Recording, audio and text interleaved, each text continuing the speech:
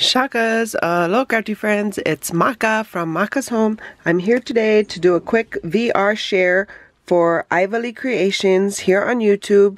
She is hosting a birthday challenge. It does end at the end of February, so you still have time. All she's asking for is a 4x4 postcard, but you have to use either Maggie Holmes collection or Frank Garcia. Um, she will not accept any other collections. So this collection I used was the Hooray collection by Maggie Holmes. And I just added some fun stuff. But my, um, it is a 4x4 card. And I think that's the smallest that she wants you to make it. But it does need to be flat. She's going to hang it somewhere.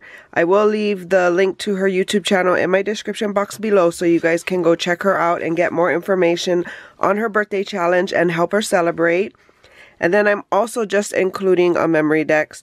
I think this is the first time that I am mailing anything to her. So I'm just going to include a Memorydex with my information. And it is from the same collection as well. So these are my entries. If you're new here, welcome. Hope you guys are having a crafty day. If you're returning, welcome back. For more videos like these, see here. Please consider liking and subscribing. And until my next video, shakas!